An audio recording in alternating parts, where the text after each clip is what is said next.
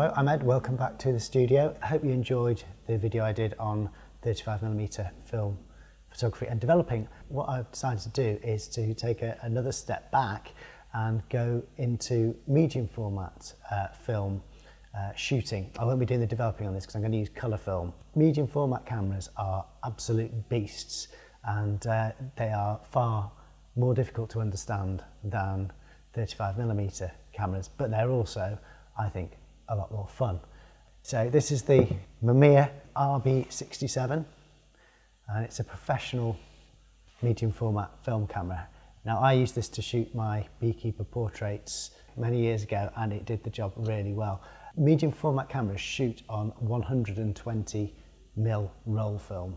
There are different kinds of cameras that use that film. The Hasselblad, which is the famous medium format camera which has square frames, that shoots six by six. This shoots six by seven. So you actually get fewer shots to the roll of film because it's using more film per shot, but you are using the same film. One of the things I said about the annoyances of using a film camera were that I wanted to change film halfway through and I couldn't. That is something which these medium format cameras think about. The film is in here. So you can actually detach the film back and put a different back on with different film in it and continue to shoot and then go back to this film later uh, if you have got more than one back. Okay, so another thing that is really nice about this camera is it is completely manual, which is why, even though this is ancient, it's completely usable now because I don't need to find any batteries that are no longer made anymore, don't need any accessories, it just works. Brilliant. So, a little tour of the camera.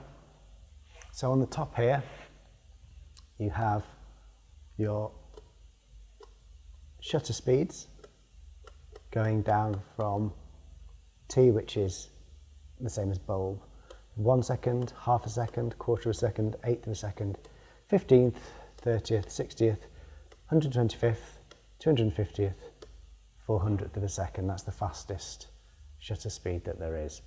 But you aren't going to need a faster shutter speed than this. Uh, in the sort of situations you'd use this camera, you've got apertures going from 3.5 to 32.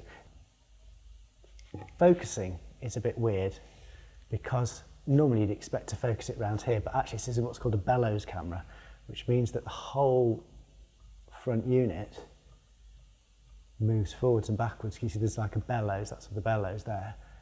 The body moves forward and backwards, so the lens is a different distance from the film at the back, and that's how you focus it. And to see where you're focusing it, you open the top here and you can either look down into there, this is like the traditional camera where you look down into it, and if you want to be very precise, if it's a bright day and you can't see what you're doing like that, or, it's, or it's not clear, it's not big enough, the subject, you can pop out this lens and then you can look down as if you were looking into the viewfinder. Okay, so that's really exciting. Another thing which is kind of cool about this camera, you'll see here, it's in portrait mode. So if you want to take a different style of picture, a landscape or a portrait, then what you do, hey, no problem, I will just twist the film canister around and I'm now in landscape mode. This is the film wind on. And the interesting thing is the film, because it's in a different container from the front, everything you do, you have to do twice. You wind the film on, but then you also have to recock the shutter here because they are not connected in the same way as in a 35mm camera. Now, I tried to release the shutter, the shutter's here, didn't do anything. Why is that? Because it's communicating with the back and telling me that I have my dark slide in, so the film is not exposed. So this is what's called a dark slide, and it is basically a sheet of metal which goes between the film and the lens. So when that's out, the only thing that's stopping the light coming in is the shutter of the lens. So when I now press the shutter, you'll hear it releases to expose the film. Dark slide needs to be in to prevent the light getting to the back of the camera. It is an issue when these get old if you get light leaks around the edges here and I've not used this camera for many years so it's going to be interesting to see if I do get any light leaks because the plastic here has warped or the metal um, seals around the edges, the rubber seals are no longer operating as they should. Um, so to actually put a film in let me just put this, the big chunky part of the camera to one side here and we'll just look at the film magazine. So as I say, you could get different backs to put on. I've actually got a Polaroid back, so you, if you were going to do fashion photography and you wanted to see what something was going to look like before you shot the frame for a magazine, because that's what these cameras were for, they were for glossy magazines because they produced huge negatives. So you'd, you'd shoot your Polaroid, say that looks good, swap the back to the film back with the correct film in it. And this, obviously the last time I shot this, I shot Ilford XP2. To open the back here, there's like a little metal piece and you pull that out and if I open then the back, you'll see that this is actually two pieces. So this lifts out. So that's the dark slide and the rear cover, which I'll just put down there. And then this is the film cassette or magazine, which also has the plate there that the, the film rests against uh, to hold it flat in the camera. You see the spool there that I'm going to wind the film onto. That is the old spool from the last film that I used because unlike with a 35mm camera where you rewind onto the spool at the end, what you do with this, it just winds on and in the end it goes on to the other spool and then you remove that spool and take that to be processed. So each time you use this camera, you keep the spool that you had from the last film. There aren't many things where you kind of keep a bit of the consumable and it becomes part of your machine.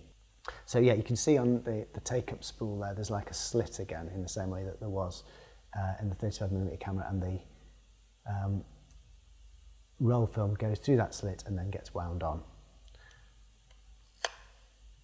So am I going to do, I need to swap that, I need to swap them over, that's what I need to do. It's all coming back to me now. So yes, that is the roll that I used, but it winds on to that roll. So what I need to do first is remove that roll from that side. So you can see that's that's what roll film comes on, on that roll, that little plastic roll there. And I'm going to move that from that side to this side. I put that back on, making sure it, see the little grooves, it's got to go into those grooves. So is that clicked in? There we go, that's in. And now, you see, I can wind on. So that's how it works. So then my new film will go onto there and we'll wind onto that. Gosh, I love the way these are built. It's kind of like, I love motorcycles, I love uh, old-fashioned machinery, and this is why it's just so clever. Uh, right, so I'll put this back in now, and I need to remember which way up it goes. It will only go in one way, but I don't want to try and force it. There is a little dot, I think, that shows which way up it should be. So will it close? Yes, so it looks like I've got it the right way around straight away, which is amazing. Okay, so that is now a sealed unit again, and that can then go on the back of the camera. Again, it will only go in one way, and then these two pieces here at the edge, they slide on to lock the back in place so it won't come off. Excellent. I think the camera is in working order. So,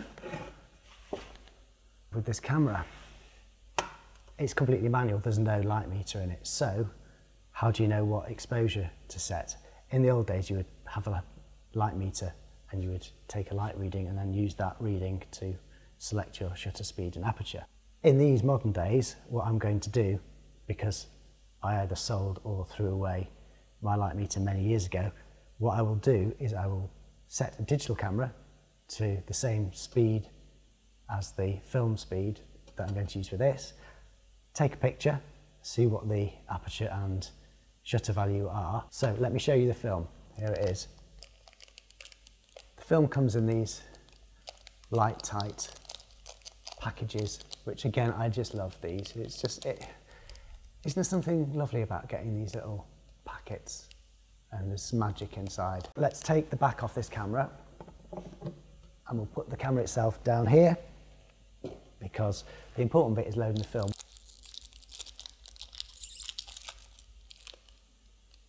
There we have it, a roll of 120 film.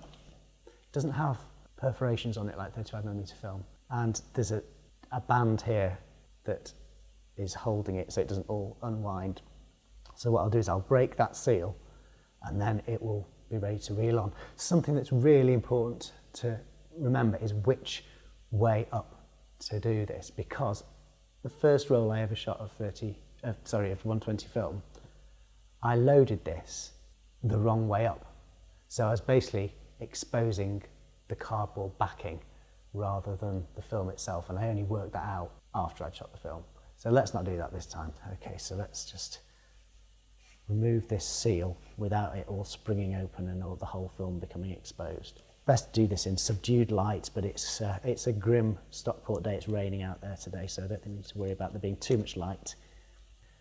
That, and now you can see that's the end of the cardboard and film. So that is the leader, like the leader you get in a 35 mil, and that goes on to here it wants to wind so that that is the bit that's going to expose.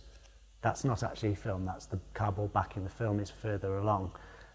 But it wants to be that way around, not that way around, which is what I, the mistake I made the first time I shot film, want to make film. So let's put that on there.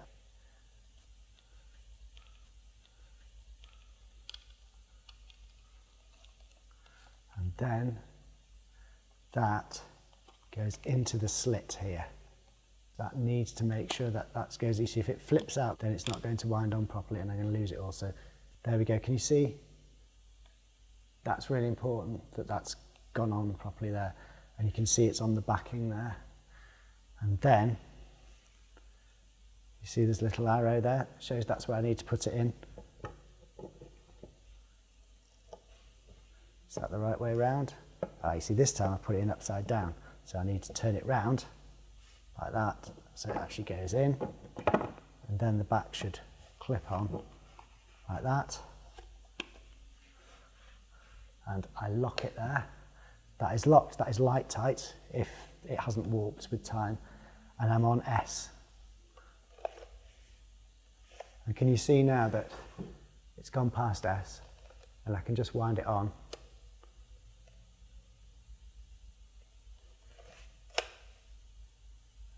go. I'm going to put this on the back of the camera and hopefully that goes on and it's locked into place and then I continue to wind on until, can you see there, a little one has appeared in the frame. Now is it going to stop? It is. Wow. Our film is loaded we are good to go. So I now need to go and shoot this roll of film and I need to find something interesting and suitable for the format.